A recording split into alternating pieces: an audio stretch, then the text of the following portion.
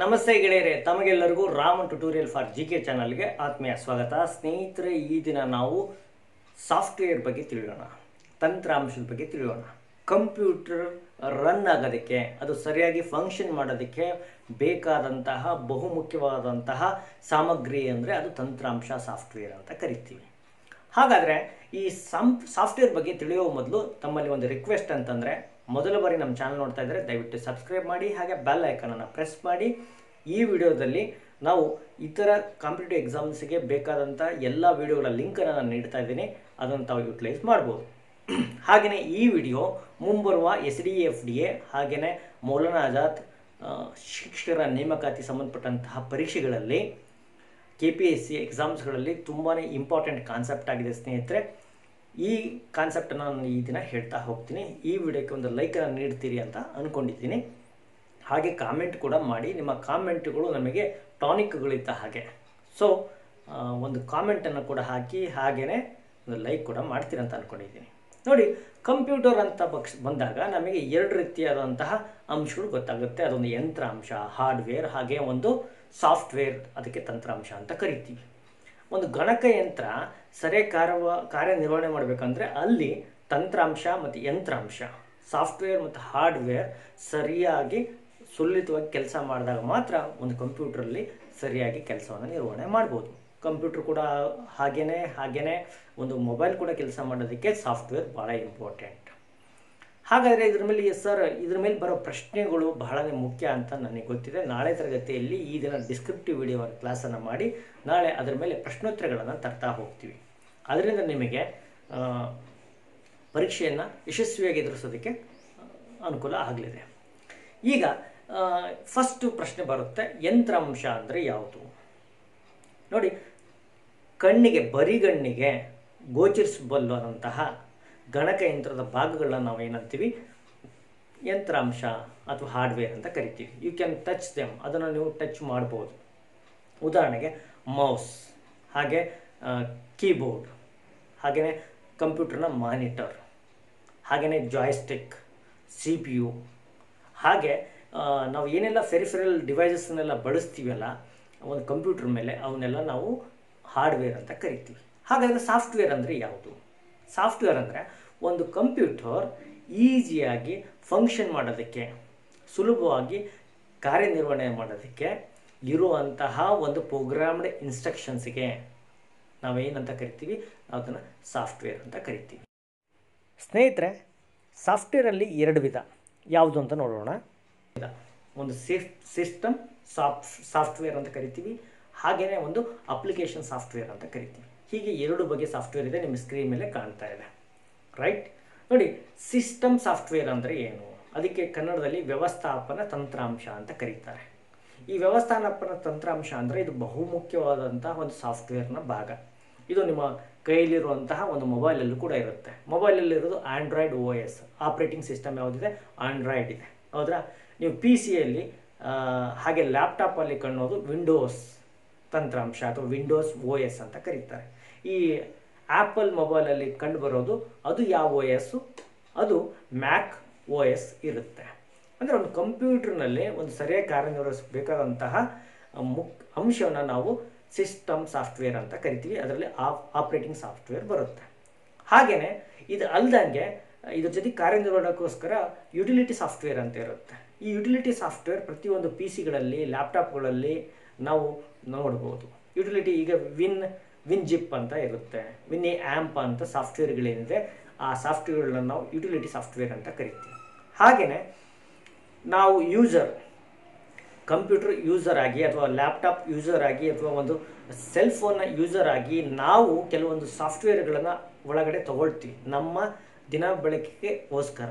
ಅವುಗಳನ್ನ ನಾವೇನಂತ ಕರಿತೀವಿ? ಅಪ್ಲಿಕೇಶನ್ ಸಾಫ್ಟ್ವೇರ್ ಅಂತ ಕರಿತೀವಿ. ಅಪ್ಲಿಕೇಶನ್ ಸಾಫ್ಟ್ವೇರಲ್ಲಿ ಎಂ ಎಸ್ ಆಫೀಸ್ ಬರುತ್ತೆ. ಎಂ ಎಸ್ ಆಫೀಸ್ ಅಂದ ತಕ್ಷಣ ನಿಮಗೆ ಹತ್ತು ಹಲವು ಬಗೆಗಳಿದೆ. ಅದ್ರ ಬಗ್ಗೆ ಈ ತರಗತಿ ನಾನು ಮುಂದೆ ಹೋಗ್ತಾ ಹೇಳ್ತಾ ಹೋಗ್ತೀನಿ. ಈ ವಿಡಿಯೋನ ಕೊನೆವರೆಗೂ ನೋಡೋದರಿಗೆ ಸುಮಾರು ಐದರಿಂದ ಆರು ಅಂಕದ ಪ್ರಶ್ನೆಗಳಿಗೆ ಉತ್ತರಿಸೋದಕ್ಕೆ ಈಸಿ ಆಗುತ್ತೆ. ಅಷ್ಟು ಇಂಪಾರ್ಟೆಂಟ್ ಲೆಸನ್ ಇದಿದೆ. ಅಪ್ಲಿಕೇಶನ್ ಸಾಫ್ಟ್ವೇರಲ್ಲಿ ಮತ್ತೆ ಯಾವ್ದು ಬರುತ್ತೆ? ಫೋಟೋಶಾಪ್ ಏನಿದೆ? ಒಂದು ಅಪ್ಲಿಕೇಶನ್ ಸಾಫ್ಟ್ವೇರ್ ಇದೆ. ಹಾಗೆ ಪೇಜ್ ಮೇಕರ್ ಕೂಡ ಒಂದು ಅಪ್ಲಿಕೇಶನ್ ಸಾಫ್ಟ್ವೇರ್ ಇದೆ. ನೋಡಿ ಕಂಪ್ಯೂಟರ್ ಏನಿದೆ ಈ ಕಂಪ್ಯೂಟರ್ ಅದರದ್ದು ಮೆಷಿನ್ ಲ್ಯಾಂಗ್ವೇಜ್ ಇರುತ್ತೆ. ಹಾಗೆ ನಾವು ಹ್ಯೂಮನ್ ಬೀಯಿಂಗ್ಸ್ ಅಂದರೆ ಯೂಸರ್ ಆಗಿ ನಮ್ಮದೇ ಆದಂಥ ಒಂದು ಭಾಷೆಗಳಿರುತ್ತೆ. ಅದು ಕನ್ನಡ ಆಗಿರ್ಬೋದು ಇಂಗ್ಲೀಷ್ ಆಗಿರ್ಬೋದು ಹಿಂದಿ ಆಗಿರ್ಬೋದು ನಮ್ಮದೇ ಆದಂಥ ಲ್ಯಾಂಗ್ವೇಜ್ಗಳನ್ನ ಇಟ್ಕೊಂಡಿರ್ತೀವಿ. ಈ ಕಂಪ್ಯೂಟರ್ ಮತ್ತು ನಮ್ಮ ನಡುವೆ ಈ ಕೊಂಡಿಯಾಗಿ ಆಪ್ರೇಟಿಂಗ್ ಸಿಸ್ಟಮ್ ಏನು ಮಾಡುತ್ತೆ? ಕೆಲಸವನ್ನು ನಿರ್ವಹಿಸುತ್ತೆ. ಒಂದು ರೀತಿ ಮಧ್ಯ, ಮಧ್ಯವರ್ತಿಗಳಾಗಿ ಈ ಆಪ್ರೇಟಿಂಗ್ ಸಿಸ್ಟಮ್ಗಳು ನಮಗೆ ಕೆಲಸವನ್ನು ನಿರ್ವಹಿಸುತ್ತೆ. ಹಾಗಾದರೆ ಯಾವ್ಯಾವ ಆಪ್ರೇಟಿಂಗ್ ಸಿಸ್ಟಮ್ಗಳಿದೆ ಅವುಗಳನ್ನ ಕಂಡುಹಿಡಿದವರು ಯಾರು? ಅವುಗಳ ಬಳಕೆ ಹೇಗಿದೆ ಅಂತ ಹೇಳ್ತೀನಿ. ಈಗ ವಿಂಡೋ ಓ ಎಸ್ ಇದೆ. ವಿಂಡೋ ಆಪ್ರೇಟಿಂಗ್ ಸಿಸ್ಟಮ್ ಇದೆ. ಇದನ್ನು ಪೌಲ್ ಅಲ್ಯಾನ್ ವಿಂಡೋಸ್ ಅನ್ನೋರು ಅದನ್ನು ಡೆವಲಪ್ ಮಾಡಿದರು. ಹಾಗೆ ಬಿಲ್ ಗೇಟ್ ಕೂಡ ಅದರ ಫೌಂಡರ್ಗಳಲ್ಲಿ ಒಬ್ಬರು ಡೆವಲಪ್ ಮಾಡಿರೋರಲ್ಲಿ ಬಿಲ್ ಗೇಟ್ ಮತ್ತು ಪೌಲ್ ಅಲ್ಯಾನ್ ವಿಂಡೋಸ್ ಇವರು ಬಹಳ ಪ್ರಮುಖರಾಗ್ತಾರೆ. ಇದನ್ನು ಸಾವಿರದ ಒಂಬೈನೂರ ಎಪ್ಪತ್ತೈದರ ಸನಿಹದಲ್ಲಿ ಈ ವಿಂಡೋಸ್ ಆಪ್ರೇಟಿಂಗ್ ಸಿಸ್ಟಮ್ ಏನಾಯಿತು? ಬಳಕೆಗೆ ಬಂತು. ಇದೊಂದು ಮಲ್ಟಿ ಯೂಸರ್ ಮತ್ತು ಮಲ್ಟಿ ಟಾಸ್ಕಿಂಗ್ ಹಾಗೆ ಜಿ ಯು ಐ ಇರುವಂತಹ ಒಂದು ಆಪ್ರೇಟಿಂಗ್ ಸಿಸ್ಟಮ್ ಮಲ್ಟಿ ಯೂಸರ್ ಅಂದ್ರೇನು ಒಂದು ಸಂದ, ಒಂದೇ ಸಂದರ್ಭದಲ್ಲಿ ಸಾಕಷ್ಟು ಜನರು ಕಾ, ಅದರ ಮೇಲೆ ಕಾರ್ಯವನ್ನು ನಿರ್ವಹಿಸ್ಬೋದು. ಒಂದು ಕಂಪ್ಯೂಟರ್ ಕನೆಕ್ಟೆಡ್ ಆಗಿ ಸಾ ಇಬ್ಲರ್ ಮೂವರು ಯೂಸರ್ಸ್ ಏನು ಮಾಡ್ಬೋದು? ಕೆಲಸವನ್ನು ನಿರ್ವಹಿಸ್ಬೋದು. ಅಂದರೆ multi user at a time ಸಾಕಷ್ಟು ಜನ ಅದನ್ನು ಯೂಸ್ ಮಾಡ್ಬೋದು. ಒಂದಿದು ಮಲ್ಟಿ ಯೂಸರ್ ಮಲ್ಟಿ ಟಾಸ್ಕಿಂಗ್ ಅಂದರೆ ಒಂದೇ ಟೈಮಲ್ಲಿ ಅದು ಕಂಪ್ಯೂಟರ್ನ ಈ ಆಪ್ರೇಟಿಂಗ್ ಸಿಸ್ಟಮ್ ಪ್ರಿಂಟಿಗೆ ಕೊಡ್ಬೋದು ಈಗ ಈಗ ನಾವು ಟೈಪ್ ಮಾಡ್ತಾ ಇರ್ಬೋದು ಅತ್ತಾಗೆ ಮತ್ತೊಂದು ಕೆಲಸವನ್ನು ನಾವು ಮಾಡ್ತಾ ಇರ್ಬೋದು. ಒಂದೇ ಟೈಮಲ್ಲಿ ನಾವು ಕಾಪಿ ಪೇಸ್ಟು ಕಟ್ ಹೀಗೆ ಹತ್ತಾರು ಕೆಲಸಗಳನ್ನು ಮಲ್ಟಿ ಟಾಸ್ಕಿಂಗ್ ಮಾಡುವಂಥ ಕೆಪಾಸಿಟಿ ಇದೆ ಈ ವಿಂಡೋಸ್ ಆಪ್ರೇಟಿಂಗ್ ಸಿಸ್ಟಮ್ಗೆ ರೈಟ್ ಸ್ನೇಹಿತರೆ? ಹಾಗಾದರೆ ನಿಮಗೊಂದು ಪ್ರಶ್ನೆ ಬರ್ಬೋದು. ಸರ್ ನಾವು ಎಲ್ಲ ಕಡೆ ನೋಡೋದು ವಿಂಡೋಸ್ ಒಂದೇನಾ ಅಂತ. ನೋ ಸ್ನೇಹಿತರೆ. ವಿಂಡೋಸ್ ಒಂದೇ ಇಲ್ಲ. ಇಲ್ಲಿ ಸಾಕಷ್ಟು ಆಪ್ರೇಟಿಂಗ್ ಸಿಸ್ಟಮ್ಸ್ ಇದೆ. ಹಾಗಾದರೆ ಈಗ ನೆಕ್ಸ್ಟ್ ಹೋಗೋಣ. ಈಗ ನೋಡಿ ಸ್ನೇಹಿತರೆ, ನಿಮ್ಮ ಎದುರಿ ಬರ್ತಾ ಇದೆ ಮ್ಯಾಕ್ ಓ ಎಸ್ ಅಂತ. ಇದು ಆಪಲ್ ಕಂಪನಿ ಒಂದು ಬಿಗ್ ಬ್ರ್ಯಾಂಡ್ ಅಮೇರಿಕನ್ ಕಂಪ್ನಿ ಅಂದ್ರೆ ಆ್ಯಪಲ್ ಕಂಪನಿ ಈ ಆ್ಯಪಲ್ ಕಂಪನಿಯ ಓನರ್ ಅಥವಾ ಆ್ಯಪಲ್ ಕಂಪನಿಯ ಓನರ್ಶಿಪ್ಪಲ್ಲಿ ಮ್ಯಾಕ್ ಓ ಎಸ್ ಬರುತ್ತೆ. ಇದನ್ನು ಸ್ಟೀವ್ ಜಾಬ್ಸ್ ಅಂತ ಕೇಳಿದ್ರಲ್ಲ, ಆ ಸ್ಟೀವ್ ಜಾಬ್ಸ್ ಮತ್ತು ಸ್ಟಫನ್ ಜಿ ಅವರು ಇದನ್ನು ಡೆವಲಪ್ ಮಾಡ್ತಾರೆ ಸ್ನೇಹಿತರೆ. ಇದರ ಫೌಂಡರ್ ಅಂತ ನಾವು ಹೇಳಬಹುದು. ಇದು ನೈನ್ಟೀನ್ ಸೆವೆಂಟಿ ಸಿಕ್ಸಲ್ಲಿ ಈ Mac O S operating system ಏನಾಗುತ್ತೆ? ಹೊರ ಬರುತ್ತೆ ವಿಂಡೋಸ್ ಬಂದು ಒಂದು ವರ್ಷದ ತರುವಾಯ ಇದು ಬರುತ್ತೆ. ಇದು ಮಲ್ಟಿ ಯೂಸರ್ ಹಾಗೆ ಮಲ್ಟಿ ಟಾಸ್ಕಿಂಗ್ ಇರುವಂಥ ವ್ಯವಸ್ಥೆ. ಇದು ಜಿ ಯು ಇ ಒಂದು ತಂತ್ರಾಂಶನೂ ಕೂಡ ಅದು ಒಳಗೊಂಡಿದೆ. ಹಾಗಾದರೆ ಈ ಸ್ಟೀವ್ ಜಾಬ್ಸ್ ನಾವು ಯಾವಾಗಲೂ ಕನೆಕ್ಟ್ ಮಾಡೋದು ಮ್ಯಾಕ್ ಓ ಎಸ್ ಜೊತೆಗೆ ಆ್ಯಪಲ್ ಕಂಪ್ನಿ ಜೊತೆಗೆ ತಮಗೆ ನೆನಪಲ್ಲಿ ಇರ್ಬೋದು. ವಿಂಡೋಸ್ ನಂತರ ಒಂದು ದೈತ್ಯ ಸಂಸ್ಥೆ ಅಂದರೆ ಈ ಮ್ಯಾಕ್ ಸಂಸ್ಥೆ ಏನಿದೆ, ಈ ಮ್ಯಾಕ್ ಸಂಸ್ಥೆ ಒಂದು ದೈತ್ಯ ಸಂಸ್ಥೆ ಆಗಿದೆ ಸ್ನೇಹಿತರೆ.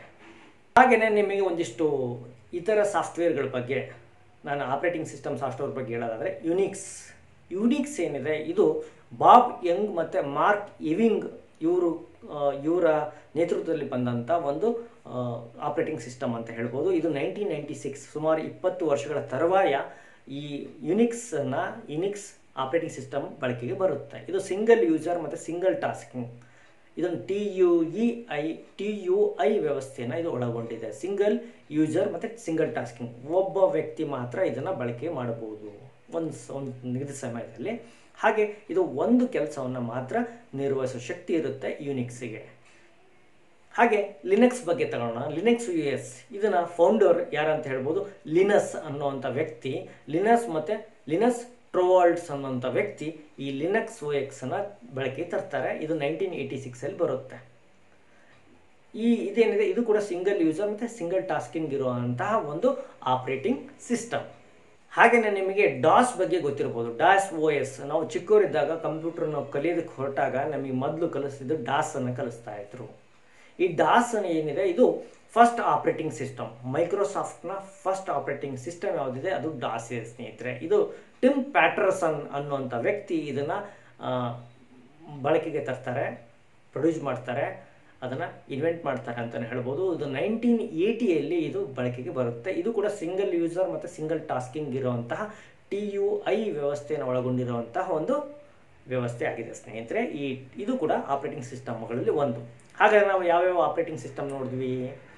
ವಿಂಡೋಸ್ ನೋಡಿದ್ವಿ, ಮ್ಯಾಕ್ ನೋಡಿದ್ವಿ, ಹಾಗೆ ಹಾಗೆ ಡಾಸ್ ಕೂಡ ನೋಡಿದ್ವಿ. ಹಾಗೆ ಯುನಿಕ್ಸ್ ನೋಡಿದ್ವಿ ಲಿನಕ್ಸ್ ನೋಡಿದ್ವಿ. ಹಾಗಾದರೆ ನಮ್ಮ ಮೊಬೈಲಲ್ಲಿರೋದು ಯಾವುದು? ಅದು Android O S Android software ಇದೆ ಸ್ನೇಹಿತರೆ. ಇದರ ಕಂಪ್ನಿ ಪ್ರೊಡ್ಯೂಸರ್ ಯಾರು ಅಂತಂದರೆ ಅದು ಗೂಗಲ್ ನೋಡಿ ಗೂಗಲ್ ಕಂಪ್ನಿ ಯಾ ಇಪ್ಪತ್ತ್ಮೂರು ಸೆಪ್ಟೆಂಬರ್ ಎರಡು ಸಾವಿರದ ಎಂಟರಲ್ಲಿ ಈ ಆ್ಯಂಡ್ರಾಯ್ಡ್ ಸಿಸ್ಟಮನ್ನು ಬಳಕೆ ತರುತ್ತೆ. ಆಂಡ್ರಾಯ್ಡ್ ಸಿಸ್ಟಮ್ ಇದೆ ಮೊಬೈಲಲ್ಲಿ ಮತ್ತು ನಿಮ್ಮದೇ ಆದಂತಹ ಟ್ಯಾಬ್ಲೆಟ್ ಫೋನ್ಗಳಲ್ಲಿ ಬಳಸ್ತಾ ಇದ್ದಾರೆ. ಲಿಮಿಟೆಡ್ ಯೂಸ್ ಆಗಿ ಕಂಪ್ಯೂಟರ್ಗಳಲ್ಲಿ ಭಾಳಷ್ಟು ಅದು ಹೆಚ್ಚು ಬಳಕೆಯಲ್ಲಿಲ್ಲ. ಆದರೆ ಟಚ್ ಸ್ಕ್ರೀನ್ ಮೊಬೈಲಲ್ಲಿ ನೋಡೋಂಥ ಬಹುತೇಕ ಮೊಬೈಲ್ಗಳಲ್ಲಿ ನೀವು ಆಂಡ್ರಾಯ್ಡನ್ನು ನೋಡ್ತಾ ಇದ್ದೀವಿ ಇತ್ತೀಚೆಗೆ ನೋಕಿಯಾ ಕೂಡ ಆಂಡ್ರಾಯ್ಡನ್ನು ಯೂಸ್ ಮಾಡ್ತಾ ಇದೆ. ಮೊದಲು ನೋಕಿಯಾದಲ್ಲಿ ಆಂಡ್ರಾಯ್ಡ್ ಸಿಸ್ಟಮ್ ಇರಲಿಲ್ಲ. ಇತ್ತೀಚೆಗೆ ನೋಕಿಯಾ ಕೂಡ ಆ್ಯಂಡ್ರಾಯ್ಡನ್ನು ಯೂಸ್ ಮಾಡ್ತಾ ಇದೆ. ನೋಕಿಯಾ ಆ್ಯಂಡ್ರಾಯ್ಡ್ ಯೂಸ್ ಮಾಡಿಲ್ಲ ಅನ್ನೋ ಕಾರಣಕ್ಕಾಗಿ ಅದು ತೆರೆ ಹಿಂದೆ ಹೋಯಿತು. ಈ ಗೂಗಲ್ ಕಂಪ್ನಿ ಆಂಡ್ರಾಯ್ಡ್ ಸಾಫ್ಟ್ವೇರ್ ಬಳಸ್ತಾ ಬಳಸ್ತಾ ಅದರದ್ದೇ ಆದಂತಹ ಸಾವಿರಾರು ಕಂಪನಿಗಳು ಆಂಡ್ರಾಯ್ಡ್ ಸಪೋರ್ಟ್ ಮಾಡಿದ್ರಿಂದ ಈಗ ಏನಾಗ್ತಾ ಇದೆ, ಆಂಡ್ರಾಯ್ಡ್ ಮಾರ್ಕೆಟಲ್ಲಿ ನೋಡ್ಬೋದು. ಹಾಗೆಯೇ ಸಾವಿರದ ಒಂಬೈನೂರ ಎಂಬತ್ತೇಳರಲ್ಲಿ ರಿಸ್ಕ್ ಓ ಎಸ್ ಅಂತ ಒಂದು ಒಂದು ಓ ಎಸ್ ಕೂಡ ಬಂತು. ಇದನ್ನು ಆಕ್ರಮ್ ಕಂಪ್ಯೂಟರ್ಸ್ ಅಂತ, ಇದು ಹೆಚ್ಚು ಬಳಕೆಯಲ್ಲಿಲ್ಲ ಸ್ನೇಹಿತರೆ. ಇವೆಲ್ಲ ನಾನು ಇದುವರೆಗೆ ಕಲ್ತಿದ್ದಂಥವೆಲ್ಲ ಆಪ್ರೇಟಿಂಗ್ ಸಿಸ್ಟಮ್ಗಳು. ಹೌದ್ರಾ? ಇದನ್ನು ಸಿಸ್ಟಮ್ ಸಿಸ್ಟಮ್ನಲ್ಲಿ ಪ್ರೀ ಲೋಡೆಡ್ ಬರುತ್ತೆ. ಒಂದು ನೀವು ಒಂದು ಪಿ ಸಿನ ಖರೀದಿ ಮಾಡಿದರೆ, ಒಂದು ಸೆಲ್ ಫೋನ್ ಖರೀದಿ ಮಾಡಿದರೆ, ಅವುಗಳಲ್ಲಿ ಆಯಾ ಕಂಪ್ನಿ ಏನು ಮಾಡುತ್ತೆ? ಆಯಾ ಕಂಪ್ನಿ ಈ ಓ ಎಸ್ ಸಿಸ್ಟಮ್ಗಳನ್ನು ಒಳಗಡೆ ಹಾಕಿರುತ್ತೆ. ಯೂಶಲಿ ಮೊಬೈಲಲ್ಲಿ ಆ್ಯಂಡ್ರಾಯ್ಡ್ ಎಸ್ ಇರುತ್ತೆ ಲ್ಯಾಪ್ಟಾಪಲ್ಲಿ ವಿಂಡೋಸಲ್ಲಿ ಲ್ಯಾಪ್ಟಾಪ್ ಮತ್ತು ಪಿ ಸಿ ಯಾವುದೇ ಸೂಪರ್ ಕಂಪ್ಯೂಟರ್ಗಳಲ್ಲಿ ವಿಂಡೋಸ್ ಬಹುತೇಕ ಇರುತ್ತೆ. ಹಾಗೆಯೇ ಕೆಲವೊಂದು ಲಿಮಿಟೆಡ್ ಕಡೆ ಈ ಲಿನಕ್ಸ್ ಇದೆ ಯುನಿಕ್ಸ್ ಇದೆ ರಿಸ್ಕ್ ಓ ಎಸ್ ಇವೆಲ್ಲ ಬಳಕೆಗೆ ಬಂದಿದೆ ಸ್ನೇಹಿತರೆ. ಸ್ನೇಹಿತರೆ, ಈಗ ನಾವು ಅಪ್ಲಿಕೇಶನ್ ಸಾಫ್ಟ್ವೇರ್ ಅನ್ವಯಕ ತಂತ್ರಾಂಶಗಳ ಬಗ್ಗೆ ಈ ದಿನ ತರಗತಿಯನ್ನು ನಾನು ನಿಮಗೆ ತಿಳಿಸ್ಕೊಡ್ತಾ ಇದ್ದೀನಿ ಸ್ನೇಹಿತರೆ. ನೋಡಿ, ಅನ್ವಯಕ ಅಪ್ಲಿಕೇಶನ್ ಸಾಫ್ಟ್ವೇರ್ ಅಂದರೆ ಒಂದು ನಿರ್ದಿಷ್ಟ ಕೆಲಸಕ್ಕೋಸ್ಕರ, ಒಂದು ನಿರ್ದಿಷ್ಟ ಕಾರ್ಯ ಕಾರ್ಯಕ್ಕಾಗಿ ಸಿದ್ಧಪಡಿಸಿದಂಥ ತಂತ್ರಾಂಶಗಳನ್ನು ನಾವೇನಂತೀವಿ ಅನ್ವಯ ತಂತ್ರಾಂಶಗಳು ಅಂತ ಹೇಳ್ತೀವಿ. ಇದರಲ್ಲಿ ಬಹಳ ಮುಖ್ಯವಾಗಿರೋದು ಮೈಕ್ರೋಸಾಫ್ಟ್ ಆಫೀಸ್ ಸ್ನೇಹಿತರೆ. ಈ ಮೈಕ್ರೋಸಾಫ್ಟ್ ಆಫೀಸ್ ಇದು ಹತ್ತೊಂಬತ್ತು ನವಂಬರ್ ಸಾವಿರದ ಒಂಬೈನೂರ ತೊಂಬತ್ತರಲ್ಲಿ ಅದು ಜಾರಿಗೆ ಬಂತು. ಇದರ ಲೇಟೆಸ್ಟ್ ವರ್ಷನ್ಗಳು ಸಾಕಷ್ಟು ಬಂದು ಹೋಗಿದೆ. ಹಾಗೆಯೇ ಇದರಲ್ಲಿ ಎಂ ಎಸ್ ವರ್ಡ್ ಬರುತ್ತೆ. M S Excel M S power point ಹಾಗೆಯೇ ಎಂ ಎಸ್ ಆಕ್ಸೆಸ್ ಹೀಗೆ ಸಾಕಷ್ಟು ಇದರದಾದಂತಹ ಒಂದು ಒಂದು ಆಫೀಸ್ ಸೂಟನ್ನು ತೊಗೊಂಡ್ರೆ ಮೈಕ್ರೋಸಾಫ್ಟ್ ಆಫೀಸ್ ಸೂಟ್ ತೊಗೊಂಡ್ರೆ, ಇವನ್ನೆಲ್ಲ ಕೂಡ ಅದರಲ್ಲಿ ಅಡಕವಾಗಿರುತ್ತೆ. ಎಂ ಎಸ್ ಎಕ್ಸೆಲ್ ಆಗಿರ್ಬೋದು ಮೈಕ್ರೋಸಾಫ್ಟ್ ಆಗಿರ್ಬೋದು ಪವರ್ ಪಾಯಿಂಟ್ ಆಗಿರ್ಬೋದು, ಹಾಗೆ ಎಂ ಎಸ್ ಆಕ್ಸಸ್ ಆಗಿರ್ಬೋದು ಇದೆಲ್ಲ ಮೈಕ್ರೋಸಾಫ್ಟ್ ಆಫೀಸ್ನ ಒಂದು ಇತರ ತಂತ್ರಾಂಶಗಳು ಅದರಲ್ಲಿ ಅಡಕವಾಗಿರುತ್ತೆ ಅಂತ ಹೇಳ್ಬೋದು. ಒಂದು ಸೂಟ್ ತೊಗೊಂಡ್ರೆ ಇದೆಲ್ಲ ಬರುತ್ತೆ. ಹಾಗೆ ನೀವು ನೆಕ್ಸ್ಟ್ ನೋಡೋದಾದರೆ ಫೋಟೋಶಾಪ್ ಬರುತ್ತೆ. ಈ ಫೋಟೋಶಾಪನ್ನು ಫೋಟೋಗಳನ್ನು ನಾವು ಅವನ್ನ ಅನಲೈಸ್ ಮಾಡೋದಕ್ಕೆ, ಸಂಸ್ಕರಿಸೋದಕ್ಕೆ ನಾವು ಈ ಫೋಟೋಶಾಪನ್ನು ಬಳಸ್ತೀವಿ. ಈ ಫೋಟೋಶಾಪನ್ನು ಜನ್ರೇಟ್ ಮಾಡೋದು ಅಂದರೆ ಕಂಪನಿ ಪ್ರೊಡ್ಯೂಸ್ ಮಾಡೋದಂಥ ಕಂಪನಿ ಜಾರಿಗೆ ಬೆಳಕಿಗೆ ತಂದಂಥ ಕಂಪನಿ ಆಡೋಬೆ ಆಡೋಬೆ ಏನಿದೆ? ಆಡೋಬೆ ಕಂಪ್ನಿ ಇದನ್ನು ಫೋಟೋಗ್ರಾಫರ್ ಯಥೇಚ್ಛವಾಗಿ ಬಳಸ್ತಾರೆ ಫೋಟೋಶಾಪನ್ನು ಅಲ್ಲಿ ವರ್ಕ್ ಮಾಡ್ತಾರೆ. ಇದು ಎರಡು ಸಾವಿರದ ಮೂರರಲ್ಲಿ ಫಸ್ಟ್ ಇದರ ವರ್ಷನ್ ರಿಲೀಸ್ ಆಗಿತ್ತು. ಇತ್ತೀಚಿನ ವರ್ಷಗಳು ಎರಡು ಸಾವಿರದ ಹನ್ನೆರಡರಲ್ಲೂ ಕೂಡ ಇದೆ. ಹಾಗೆಯೇ ಮುಂದಿನದು ಅಪ್ಲಿಕೇಶನ್ ಸಾಫ್ಟ್ವೇರ್ ಯಾವುದು ಅಂದರೆ ಕೋರಲ್ ಡ್ರಾ ಅಂತ. ಇದು ಫಸ್ಟ್ ವರ್ಷನ್ ಸಾವಿರದ ಒಂಬೈನೂರ ಎಂಬತ್ತೊಂಬತ್ತರಲ್ಲಿ ಬಂತು. ಇತ್ತೀಚೆಗೆ ಎರಡು ಸಾವಿರದ ಹನ್ನೆರಡರಲ್ಲಿ ಇದ್ರದ್ದು ಲೇಟೆಸ್ಟ್ ವರ್ಷನ್ ಕೂಡ ಬಂದಿದೆ. ಇದ್ರ ಕಂಪನಿ ಪ್ರೊಡ್ಯೂಸ್ ಮಾಡಿದಂಥ ಕಂಪನಿ ಯಾವುದು? ಕೋರಲ್ ಇದನ್ನು ಡಿಸೈನಿಂಗಲ್ಲಿ ಬಳಸ್ತಾರೆ. ಉದಾಹರಣೆಗೆ ಪುಸ್ತಕ ಇದೆ, ಒಂದು ಮ್ಯಾಗ್ಝಿನ್ ಇದೆ, ಒಂದು ಬ್ಯಾನರ್ ಇದೆ. ಈ ಮ್ಯಾಗ್ಝಿನ್ ಪುಸ್ತಕ, ಈ ಬ್ಯಾನರ್ಗಳಲ್ಲಿ ಡಿಸೈನ್ ಮಾಡೋದಕ್ಕೆ ಆರ್ಟಿಸ್ಟಿಕ್ ಡಿಸೈನ್ ಮಾಡೋದಕ್ಕೆ ಈ ಕೋರಲ್ ಡ್ರಾವನ್ನು ಅತಿ ಹೆಚ್ಚವಾಗಿ ಬಳಸ್ತಾರೆ ಸ್ನೇಹಿತರೆ. ಇದ್ರ ಸ್ನೇಹಿತರೆ, ಈಗ ನಾವು ಯುಟಿಲಿಟಿ ಸಾಫ್ಟ್ವೇರ್ಗಳ ಬಗ್ಗೆ ನೋಡೋಣ. ಅಂದರೆ ಗಣಕಯಂತ್ರದ ಸಾಮಾನ್ಯ ಕಾರ್ಯನಿರ್ವಹಣೆಗೆ ಬೇಕಾದಂಥ ಕೆಲವು ತಂತ್ರಾಂಶಗಳನ್ನು ನಾವು ಯುಟಿಲಿಟಿ ಸಾಫ್ಟ್ವೇರ್ ಅಂತ ಕರಿತೀವಿ. ಈಗ ಯೂಶಲಿ ಇವುಗಳನ್ನು ಕಾಮನ್ ಆಗಿ ಎಲ್ಲ ಒಂದು ಕಂಪ್ಯೂಟರ್ಗಳಲ್ಲಿ ನಾವು ನೋಡ್ಬೋದು. ಅದರಲ್ಲಿ Acrobat P D F reader ಕೂಡ ಹೌದು. ಇದನ್ನು ಜೂನ್ ಸಾವಿರದ ಒಂಬೈನೂರ ತೊಂಬತ್ತ್ಮೂರರಲ್ಲಿ ಫಸ್ಟ್ ವರ್ಷನ್ ಇದ್ರ ಬಿಡುಗಡೆ ಆಯಿತು. ಇದರ ಪ್ರೊಡ್ಯೂಸ್ ಕಂಪನಿ ಯಾವುದು? ಆಡೋಬೆ ಲೇಟೆಸ್ಟ್ ವರ್ಷನ್ ಎರಡು ಸಾವಿರದ ಹದಿಮೂರರಲ್ಲಿ ನಿಮಗೆ ಸಿಕ್ಕಿದೆ. ಪಿ ಡಿ ಎಫನ್ನು ಓಪನ್ ಮಾಡೋದಕ್ಕೆ ಈ ಆಕ್ರೋಬ್ಯಾಟನ್ನು ಬಳಕೆ ಮಾಡ್ತಾರೆ. ಇತ್ತೀಚೆಗೆ ಮೊಬೈಲ್ಗಳಲ್ಲಿ ಸಾಕಷ್ಟು ಪಿ ಡಿ ಎಫ್ ರೀಡರ್ಗಳು ನಿಮಗೆ ಲಭ್ಯ ಇದೆ. ಅದರಲ್ಲಿ ಜೋಡೋ ಅನ್ನುವಂಥ ಪಿ ಡಿ ಎಫ್ ರೀಡರ್ ಹಾಗೆ ಹತ್ತು ಹಲವಾರು ಪಿ ಡಿ ಎಫ್ ರೀಡರ್ಗಳು ನೀವು ಮಾರ್ಕೆಟಲ್ಲಿ ನಾವು ನೋಡ್ಬೋದು. ಗೂಗಲ್ ಪ್ಲೇ ಸ್ಟೋರಲ್ಲಿ ನಿಮಗೆ ಲಭ್ಯ ಆಗುತ್ತೆ. ಹಾಗೆಯೇ ಸ್ನೇಹಿತರೆ ವಿನ್ ಆರ್ ಆರ್ ಅಂತ ಇದೆ. ಈ ವಿನ್ ಆರ್ ಆರ್ ಸಾವಿರದ ಒಂಬೈನೂರ ತೊಂಬತ್ತ್ಮೂರಲ್ಲಿ ಬಂತು. ಇತ್ತೀಚಿನ ಲೇಟೆಸ್ಟ್ ವರ್ಷನ್ ಎರಡು ಸಾವಿರದ ಹನ್ನೆರಡರಲ್ಲಿ ಬಂದಿದೆ. ಇದು ಫೈಲ್ ಸೈಜ್, ಒಂದು P D F file size ಇದೆ ಅಥವಾ ಯಾವುದೋ ಫೈಲ್ ಸೈಜ್ ತುಂಬ ದೊಡ್ಡದಾಗಿದೆ ಅನ್ನೋದನ್ನು ಕಂಪ್ರೆಸ್ ಮಾಡೋದಕ್ಕೆ ಇದನ್ನು ಬಳಸ್ತಾರೆ. ಕಂಪ್ರೆಸ್ ಮಾಡೋದಕ್ಕೆ ಈ win zip win R R ಇದನ್ನು ಬಳಸ್ತಾರೆ. ಭಾಳ ಡಾಟಾ ಟ್ರಾನ್ಸ್ಫರ್ಗೆ ತುಂಬಾ ಇಂಪಾರ್ಟೆಂಟ್ ಆದಂತಹ ಒಂದು software utility software win R R ಇದೆ ಸ್ನೇಹಿತರೆ. ಹಾಗೆ ಡೆಮನ್ ಟೂಲ್ಸ್ ಅಂತ ತಾವೆಲ್ಲ ಬಳಕೆ ಮಾಡಿದಿರಿ ಅಂದ್ಕೊಂಡಿದ್ದೀನಿ ಈ ಡೆಮನ್ ಟೂಲ್ಸ್ ಇದು ಎರಡು ಸಾವಿರದ ಒಂಬತ್ತರಲ್ಲಿ ಬಂದಂಥ ಒಂದು ಯುಟಿಲಿಟಿ ಸಾಫ್ಟ್ವೇರ್ ಆಗಿದೆ ಸ್ನೇಹಿತರೆ.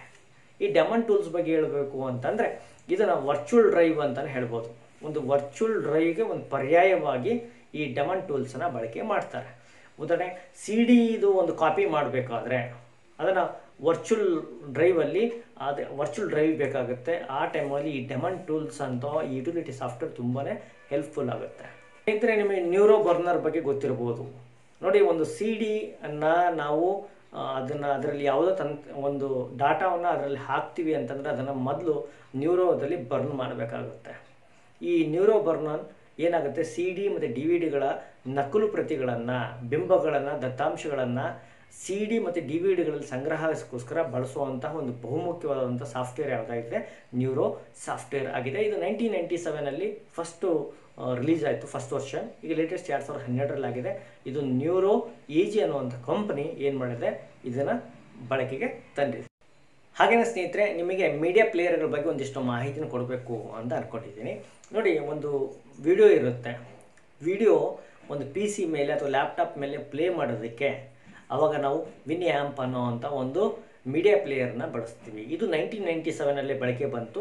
ಲೇಟೆಸ್ಟ್ ವರ್ಷನ್ ಎರಡು ಸಾವಿರದ ಹನ್ನೆರಡರಲ್ಲಾಗಿದೆ ಇದು ನಲ್ ಸಾಫ್ಟ್ ಮತ್ತು ಎ ಓ ಎಲ್ ಕಂಪನಿ ಇದನ್ನು ಬಳಕೆಗೆ ತಂದಿದೆ ಸ್ನೇಹಿತರೆ. ಹಾಗೆಯೇ ಡಬ್ಲ್ಯೂ ಎಂ ಪಿ ಪ್ಲೇಯರ್ ಕೂಡ ವೆರಿ ಇಂಪಾರ್ಟೆಂಟ್ ಇದನ್ನ ವಿಂಡೋಸ್ ಮೀಡಿಯಾ ಪ್ಲೇಯರ್ ಅಂತ ಕರೀತಾರೆ. ಇದು ನೈನ್ಟೀನ್ ನೈಂಟಿ ಒನ್ನಲ್ಲಿ ಬಂತು. ಇದು ಮೈಕ್ರೋಸಾಫ್ಟ್ನ ಮೈಕ್ರೋಸಾಫ್ಟ್ ಕಂಪ್ನಿ ಪ್ರೊಡ್ಯೂಸ್ ಮಾಡಿರುವಂತಹ ಒಂದು ಮೀಡಿಯಾ ಪ್ಲೇಯರ್ ಹಾಗೆ ವಿ ಎಲ್ ಸಿ ನಿಮಗೆ ಗೊತ್ತಿರ್ಬೋದು ವಿ ಎಲ್ ಸಿ ಇದನ್ನು ವಿಡಿಯೋ ಲ್ಯಾನ್ ಪ್ರೊಜೆಕ್ಟ್ ಅಂತ ಕರೀತಾರೆ. ಅನ್ನೋ ಕಂಪ್ನಿ ವಿಡಿಯೋ ಲ್ಯಾನ್ ಪ್ರೊಜೆಕ್ಟ್ ಅನ್ನೋ ಕಂಪ್ನಿ ಇದನ್ನು ಬಳಕೆ ತಂದಿದೆ. ಇದು ಎರಡು ಸಾವಿರದ ಒಂದರಲ್ಲಿ ಇದರ ಫಸ್ಟ್ ವರ್ಷನನ್ನು ನೋಡಿದ್ವಿ. ಲೇಟೆಸ್ಟ್ ವರ್ಷನ್ ಎರಡು ಸಾವಿರದ ಹನ್ನೆರಡರಲ್ಲಿ ನಮಗೆ ಲಭ್ಯ ಆಯಿತು ಅನ್ನೋದು ಬಹುಮುಖ್ಯ. ಹಾಗೆಯೇ ಸ್ನೇಹಿತರೆ ಎಫ್ ಎಲ್ ವಿ ಪ್ಲೇಯರ್ ಬಗ್ಗೆ ಯಾರಿಗೆ ಗೊತ್ತಿಲ್ಲ? ಎರಡು ಸಾವಿರದ ಎರಡರಲ್ಲಿ ಇದು ರಿಲೀಸ್ ಆಯಿತು ಸ್ನೇಹಿತರೆ. ಎರಡು ಸಾವಿರದ ಎಂಟರಲ್ಲಿ ಇದ್ರ ಲೇಟೆಸ್ಟ್ ವರ್ಷನನ್ನು ನೋಡಿದ್ವಿ. ಮ್ಯಾಕ್ರೋ ಮೀಡಿಯಾ ಅನ್ನೋ ಒಂದು ಕಂಪ್ನಿ ಇದನ್ನು ಬಳಕೆ ತಂದಿದ್ದು. ನಿಮಗೆಲ್ಲ ಗೊತ್ತೇ ಇರುತ್ತೆ ದಟ್ಸ್ ಇಟ್ ಸ್ನೇಹಿತರೆ ಇದುವರೆಗೂ ಕೂಡ ಈ ವಿಡಿಯೋ ತಮಗೆ ಅನುಕೂಲ ಆಯಿತು ಅಂದ್ಕೊಂಡಿದ್ದೀನಿ ಮುಂದಿನ ವಿಡಿಯೋದಲ್ಲಿ.